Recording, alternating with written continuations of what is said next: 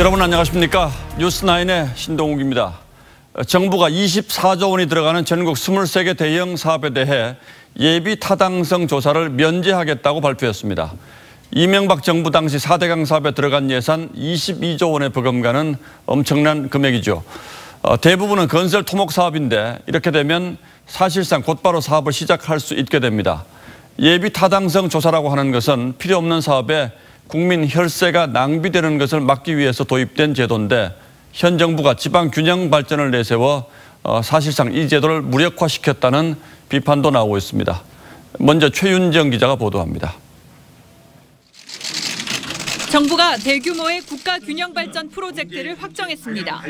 이 과정에서 총 24조 1천억 원 규모 23개 지역 사업이 예비 타당성 조사를 면제받았습니다. 경제적 실익을 따지는 절차를 건너뛰고 지역 수건 사업의 속도를 높인다는 겁니다.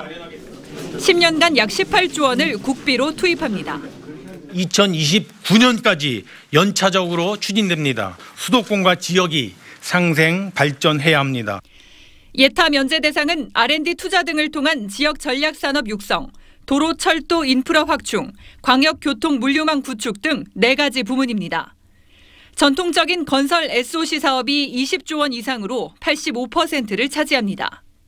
철도 사업으론 수도권과 경상 남북도 내륙을 연결하는 남부 내륙철도, 호남권과 강원권을 연결하는 충북선 철도 고속화, 평택 오송 고속철도 추가 건설 등이 그 대상입니다. 또 울산 외곽 순환도로와 새만금 국제공항 조성, 대전시 순환 트램도 들어갑니다. 정부는 지역 균형 발전이라는 이번 예타 면제 취지에 따라 서울, 경기, 인천이 추진한 사업은 원칙적으로 제외했다고 밝혔습니다. 다만 서울 도시철도 7호선의 포천 연장은 낙후된 접경 지역이란 이유로 포함됐습니다. 이번 사업 선정으로 20년 전 선심성 혈세 낭비를 막기 위해 도입했던 예비 타당성 제도가 사실상 유명 무실해졌다는 지적도 나옵니다. TV조선 최윤정입니다.